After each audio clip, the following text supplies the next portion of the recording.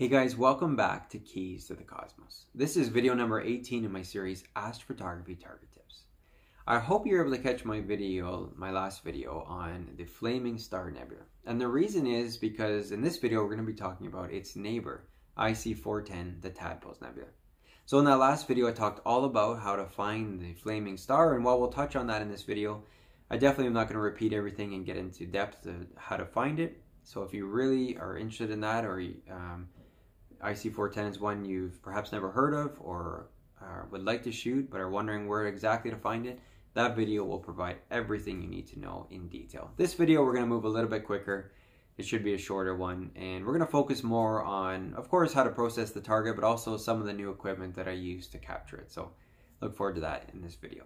So let's talk a little bit about IC410, the Tadpoles Nebula first. So it's um, an emission nebula primarily, and it's very similar to Flaming Star. I'd say a little bit smaller, but I'd say equally as bright, maybe a touch. I don't know the magnitude off by hand, offhand, but here it is here. But it's a fairly bright target. Um, it's a decent size, so you should be able to shoot it with a variety of different telescopes, which we'll talk about shortly. And it's known be, for its name because of the two tadpoles sort of looking pieces of gas that are in it. So I'm going to use the Stellarium version of this target and we'll save my image for the end since I've never shot this one before.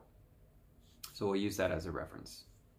So let's talk about first of all how to find IC410.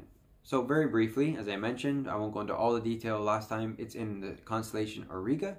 Auriga is a big um, constellation of stars in the eastern skies this time of year. We're just about December 1st. And it's known for its biggest star, Capella. So that should be the easiest one to find. That's in the top left corner but our focus will be on the right hand side. There's two stars, one above the other. And basically, the Flaming Star and Tadpoles Nebula are just in between those stars and a little bit to the left. So we're moving in towards the center of Auriga. So just inside those two stars and about halfway is where you'll find these two beautiful targets. And so we talked about the Flaming Star, that's the higher one.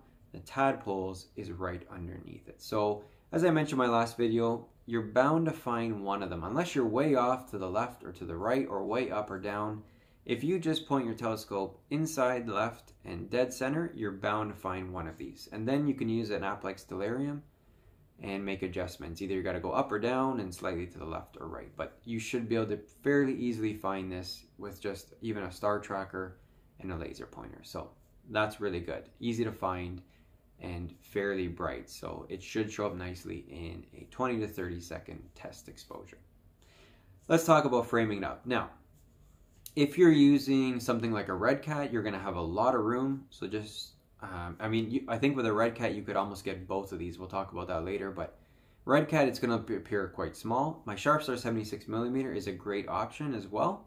But for this particular image, I used this telescope. Now, I've never really shown it. It's been in on the mount in some of those videos, but this is my Explore Scientific ED102.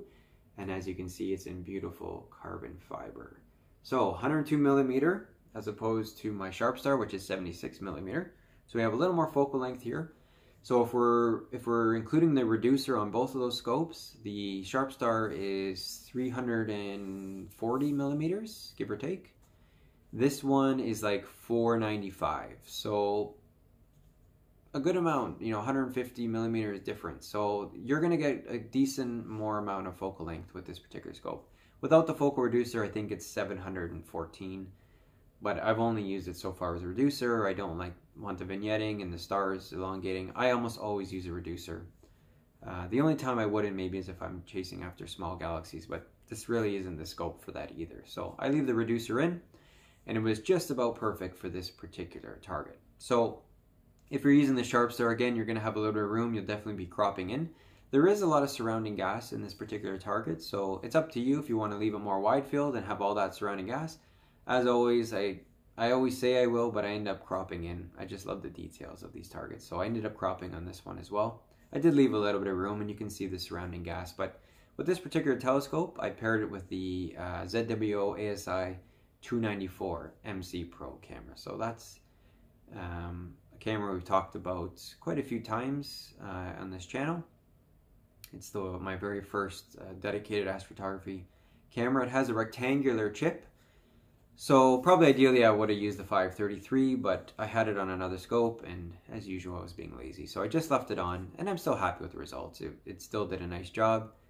And, um, you know, I did have to crop in a little bit, but no problems, nothing crazy. This really is probably the perfect scope for shooting one of these targets on its own. But as I mentioned, you can definitely get away with something like my Sharp Star or like a 60 millimeter telescope. And you could go as wide as the RedCat, but I would really only do that if I was shooting both. So let's talk about um, integration time. So I got seven and a half hours on this particular target. And that was definitely more than enough. Um, I mean, I've seen much longer and they look beautiful. But I would say you're under reasonable skies, you can get away with uh, three or four hours. But if you're in dark, um, more light, polluted skies like myself, I would recommend anywhere from four to six hours should get you a really nice image. So you should be able to do that on one long night if you get a nice clear patch of sky or over two nights. Now in this case, I did mine over three nights. It's just been horrible weather here in Toronto. Um, we're just basically taking what we can. So I just put together, you know, three nights, couple hours, three hours a night, and altogether I got seven and a half hours. So I was happy with that in the end. Um, and uh, I was very happy with this image in general. I'm not gonna say it's my best, but it was definitely my cleanest image, if that makes sense. Well, how do you quantify what that word means? We'll talk more about it more in processing, but it definitely that scope. And I should also mention too that I did four minute exposures. Now I know you're used to me saying 60 seconds unguided. Yes, this is my first full image doing four minute unguided exposure. So that taught, speaks to my mount the one you've seen in a couple videos already. I'll definitely have a review on that very soon. But um, yeah, um, once I got it working and I've worked out most of the kinks, I'm still working on a few things. Um, it's delivering quite well. Four minute unguided exposures with, uh, even though this is not a what you'd call a huge scope, may look big here on the screen, but it's you know 102 millimeters is that's middle of the road at, at best. So that's still considered a bit of a wide field telescope. So even with that, um, it was able to do four minute unguided exposures. And, you know, I can't lie. Listen, I always say, use whatever you have, even if it's just star tracker and a camera lens. That's great. But there is no doubt a difference. I can attest that when you start doing longer exposures, you get more detail. Um, you, are not cropping as much, so it's not sort of artificial uh, magnification. It's pure, it's right there and um, I'll show you here on my single exposure. So this is a single minute exposure. So you can see very clearly the target. You can see the two tadpoles, which give it its name. So you see a difference. And when you have nice glass like this telescope has, um, I think it's, uh, I, I forget the name of it. It's here. I'll have all that in my review video. But um, when you put nice piece of nice glass on the front and you put a four minute exposure, you get you definitely do get better results and it made processing a lot easier as well so i'm excited about that i'm still going to be doing my star tracker so i'll I'm, I'm still i'm actually working on a target right now using my star tracker so i'm hoping the idea is to have both of them out at night most nights so i'll definitely have videos with both so for you those you guys using star trackers it's not like i'm leaving you behind um, but it is good to know what you can expect once you do make that choice to buy a mount and, and the difference that you'll see so yeah, seven and a half hours. Very happy with that. I use my L Extreme filter as uh, as usual, and along with the other equipment, uh, the 294 camera. Uh, that definitely was more than enough exposure time or integration time to produce what I considered uh, a, nice image that I was happy with in the end. So let's talk about processing. Now, as I mentioned, with the four minute exposures and a little bit more focal length, it definitely made it a little bit easier this was not one that I had to do, you know, five, six times starting over again, like some of those targets out there. It's fairly bright and all that, so it pops pretty easy. You don't have to do a ton of stretching, I didn't find. You have some choices to make. Now, there is there's a lot of detail in the in the target itself, but there's also some surrounding gas. So you'll see if you look at Instagram or AstroBin and all that, you'll see different sort of versions of the IC410. Some are more zoomed in, some are more wide field, and they get all the gas around it. I tried to do something sort of in the middle. I did catch some of that uh, HA gas around it, but I did do somewhat of a significant crop. What can I say? I just always end up doing a crop. I love to see the details in these beautiful targets. So once again, I end up doing more of a cropped image.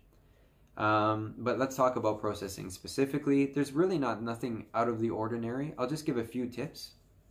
So obviously, um, I do the usual where I lassoed off the entire thing, just sort of worked on camera raw filter to pull the target itself out. I left that outside gas, but when I selected inverse, okay, to work on the background, I didn't go too crazy darkening it, okay? I didn't want to make that gas disappear. So I wanted to show up, I just didn't want to be sort of the focal feature of the image. So I made sure that I left that still very visible.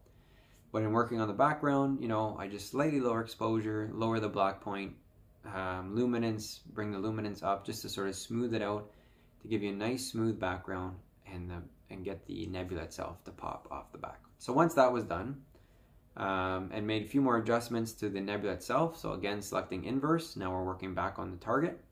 Then I selected off of that and I just started to pick out key features. I would say I'll use my uh, Stel Stellarium version of it just as an example. I'll save my picture for the end. So the tadpoles themselves, the two pieces of, I guess, dust or gas there that make that give it its name, that sort of look like little tadpoles. Those I lassoed off together. So I lassoed off the one, then if you hold down shift on Photoshop, you can lasso off another uh, tar target or section, and you, can hold down shift and do as many as you want. But in this case, I did those two. And again, camera raw filter, texture tab, clarity, just to sort of really make them sharp and, and have them pop off the background after I did that, I just really focused on some of the areas where I felt like I could bring out the gas, um, where it had a lot of texture to it, just to sort of enhance that texture. I talk about all the time. It's it's all about for me making your images have depth, and the best way to do that is variety. You want some areas a little bit softer, some a little bit darker, some a little bit brighter, some a little bit more textured, and when you have that variance, and you do it in a way that it sort of all blends together, that's what gives you depth. That and of course a nice smooth dark background to make it pop. So that's what I tried to do. So there's some areas of gas I'll show you on the Stellarium here up above and to the right of the tadpoles. I just sort of um, lassoed off some of those areas, sort of same thing, whites, clarity, texture, make them pop out. And then there you'll notice there's some dark patches of sort of dark gas and dust. Those I sort of made pop out, lower the black points, um, and what else, you know, fool around with camera raw filters. A lot of little sliders there that can make that pop out. And that really added to what I called before a very clean image, where um, everything just sort of blended in. Even though all the adjustments I made, they all look like natural, and it was very crisp and clean. And um, yeah, not a lot of like graininess anywhere. So I was really happy with that. I was very happy with the equipment finally to have it working and to see the results of it. So it definitely does make a difference. But this is a fairly easy target. Even if you're doing 60 second exposures with a with a DSLR, you know, you may need to sink a little bit more time and a little bit more time in processing, but you can still get a really nice result. So don't let that hold you back. But other than that, that's basically it. Oh, there's one thing I, I do want to mention as well. You'll notice in my final image, there's a little bit of a blue tinge to it. Now, um, I did that on purpose. I wanted to just to give it a bit of variety. You know me, I hate just red. I try to make my images more sort of pinkish red. Um, that's just my personal opinion. So I wanted to give it, try and fake, as it were, a little bit of um, color variety. So what I did was, I've talked about this before. I I, I uh, lassoed off certain part of the image, of the image, certain parts of it, I should say. And if you go in, in Photoshop to, um, I can't remember, it's the well, it's the adjustments tab. So basically the same the same menu where you're doing your curves and levels adjustments. Um, there is a tab called adjustments. And then if you go to that there's a whole menu that pops down. And one of them is the exposure tab. So if you click on that exposure tab there's something called uh, there's three sliders that open up and the bottom one's called gamma correction.